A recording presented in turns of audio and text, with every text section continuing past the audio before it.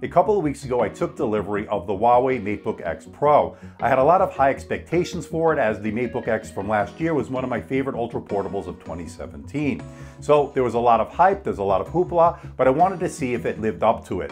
Hey everybody, this is Andrew, and this is the review of the Huawei MateBook X Pro. Let's find out if it's worth your money.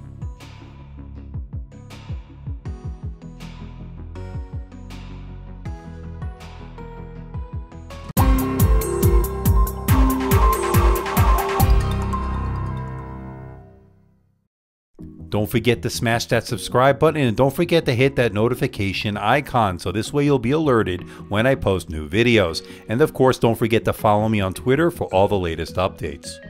Last year I reviewed the Huawei MateBook X, one of my favorite ultra portables of 2017. Had a lot of great things going for it. A great 2K display, 7th generation processor, good looks, great build quality, and superb speakers. But it did have its shortcomings. It didn't have great battery life, and it didn't have a touch display.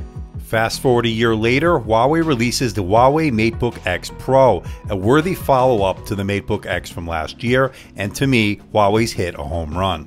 And I can say with confidence that Huawei's pretty much improved every area of this device, which is very uncommon in the laptop arena. It's one of the best ultra portables you can buy in 2018, coming in at one of the best values. We'll talk more about the price in just a little bit. Now let's start off with its strongest feature, in my opinion, its display. It's a 13.9 inch 3K touch display. It's a resolution of 3000 by 2000, that's 259 pixels per inch, and it has a 3x2 aspect ratio. It also is a multi-touch display, something you didn't get with the MateBook X from last year. And it barely has any bezels with a 91% screen to body ratio. That's insane. And at 458 nits, you're looking at the brightest display in its category, beating out the MacBook Pro, but barely, the HP Spectre 13, the Dell XPS 13 9370, and the category average of 305 nits. And having such a bright display means you're going to be able to use this in both indoor and outdoor use, and that's fantastic and it covers the color gamut really well at 124% sRGB, certainly above the category average of 114%, beating out the HP Spectre 13, the Apple MacBook Pro, but not by much, and the Dell XPS 13 9370. You're looking at a very crisp display with good contrast, good black levels, and very good color accuracy. And it's covered in Gorilla Glass, making it more or less scratch resistant. And of course, these insanely thin bezels come at a price, having to put the webcam between the F6 and F7 keys. Now I like the fact that you can hide it when it's not in use, but its placement is unfortunate. You'll look at your knuckles and up your nose, not very flattering and not very good. But I have to say it is a secure webcam, so nobody will be spying on you when it's not in use. That's actually pretty good. The MateBook X Pro weighs under 3 pounds. It's 2.93 pounds or 1.33 kilograms, and it's only 14.6 millimeters thick or 0.57 inches. Now, I imported my unit from China through AliExpress, and I have the Core i5 8250U CPU with the dedicated GPU. It's the NVIDIA MX150 with 2GB of video memory. Can't really get this model in the United States, so you will have to import it and pay a premium on top of that.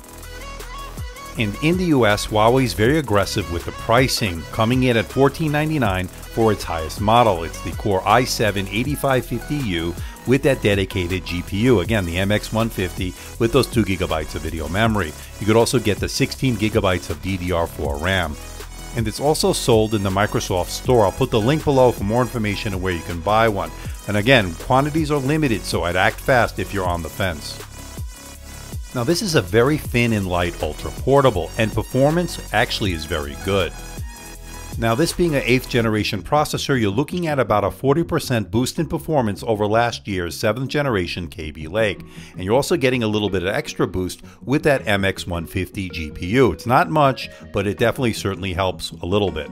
Now, keep something in mind, this is not a dedicated gaming laptop. This is more of an ultra portable for more general purpose use. But you can do some gaming, as you can see here, some pretty good results, and it certainly helps that it does have that dedicated GPU. But having such a thin and light device does have its trade offs. When I streamed an HD video for 15 minutes, it did get warm. Above the 95 degree Fahrenheit threshold, it got 103 degrees on the bottom. On the keyboard, it got 101 degrees, but it stayed relatively cool around the touchpad. It's a bit warmer than some of its competition and under heavy load it will start to thermal throttle. Under the Witcher 3 stress test which is representative of real world gaming, the CPU and GPU can be observed running steadily at 3 GHz for the CPU and 1.03 MHz for the GPU respectively, with core temperatures in the mid 70 degrees Celsius range. And performance degrades slightly over time.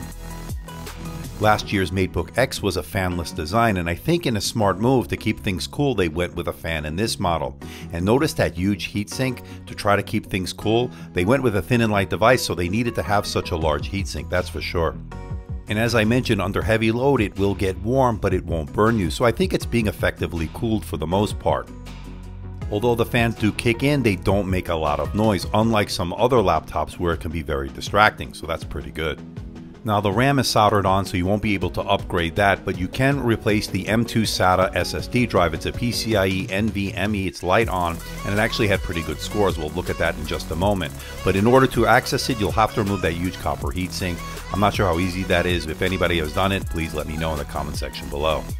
And as you can see from the Crystal Disk Mark scores, excellent reads, good writes, overall pretty good and the port selection is so much better than last year's MateBook X. Here you get two USB Thunderbolt 3 ports, supports 4 lanes, so if you want to connect to an eGPU, you have that option.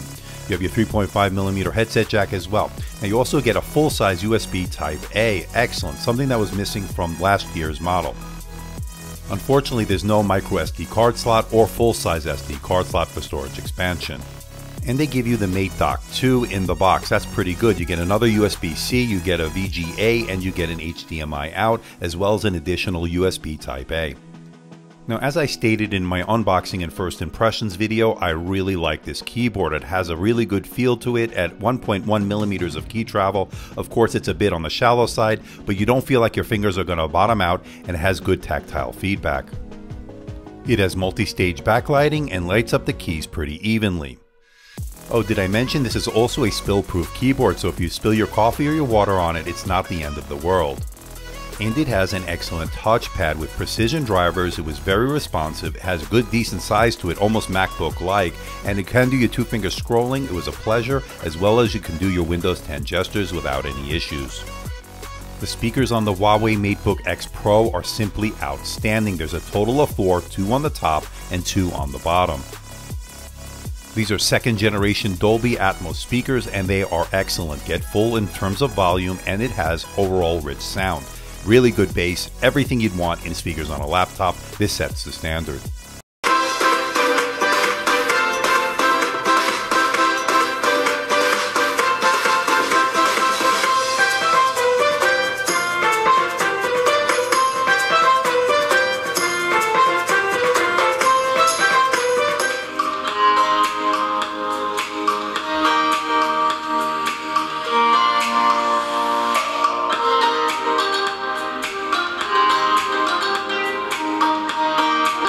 Power button's located right above the keyboard, just above the delete key, and it also doubles as a fingerprint sensor. And this has one of the best, most responsive fingerprint sensors I've ever used on a laptop. It's that good. Works perfectly with Windows Hello.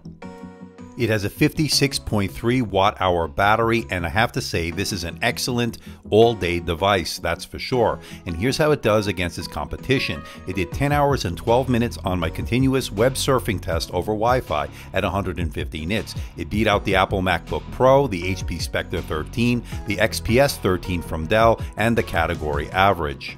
And in mixed use case scenario, you're going to get about 8 to 9 hours, which is excellent and it supports fast charging, charging the device from 0 to 100% in about an hour and 15 minutes. That's pretty good. The Huawei MateBook X Pro is a speedy machine with a gorgeous display, comfortable keyboard, and solid battery life. I would highly recommend this over any other laptop right now. This is one of my favorites, even over the 13 inch MacBook Pro. If it were easy to buy this machine in the US, that would make it even better. But again, limited quantities are one of its biggest negatives. It also has some of the best sounding speakers I've ever heard on a laptop, they're that good. So far, this is the laptop to beat for 2018 in the ultra portable category. I'm going to give it 94%, making the Huawei MateBook X Pro worth your money. So what do you think about the Huawei MateBook X Pro? So far, this is my favorite laptop of 2018 in the ultra portable category. It checks all the boxes, the beautiful looks, the excellent build quality, the gorgeous 3K touch display, the great all-day battery life, the outstanding quad speakers. It doesn't get much better than this, ladies and gentlemen. That's why I'm going to give this my Editor's Choice Award for the ultra portable category here in mid 2018. This is the best. This is the this is the standard that all other laptops will have to live up to so far in my opinion. But I'm curious to know what you think. Leave a comment in the comment section below. It's aggressively priced at $1,500 for the Core i7 8550U model. It has that dedicated NVIDIA GeForce MX 150 GPU. That's outstanding. Now, of course, it's not going to be a gaming laptop, as I stated. This is a more general purpose, ultra portable, thin and light, great for taking you with you on the go, but it definitely can get the work done. It can definitely do some gaming as evidenced by those benchmarks. And really, there's no deal breaker on this. There's no real negatives. Uh, maybe you want to say there's no SD card slot or micro SD card slot for storage expansion, but that to me is minor. I like the fact they include the Mate Dock 2 in the box, allowing you to get some more port expansion. But again, I want to know what you think. Leave a comment in the comment section below. It's available at Amazon. It's available at the Microsoft Store. And I was able to import my model, the Core i5, with that MX150 GPU at a premium, of course, through AliExpress. But I don't recommend that. If you're in the United States, go with those great deals over at Amazon or at Microsoft. I think you're going to do better. So please hit the like button, please subscribe, please share this video. Don't forget to leave a comment in that comment section below. Let me know how I'm doing. Let me know if there's a device or something out there you think I should review. I'll do my best to try to make that happen. Don't forget to check us out on Facebook, on Twitter, Instagram, and of course our website, amdtechreviews.com. So until next time, this is Andrew from AMD Tech. See ya.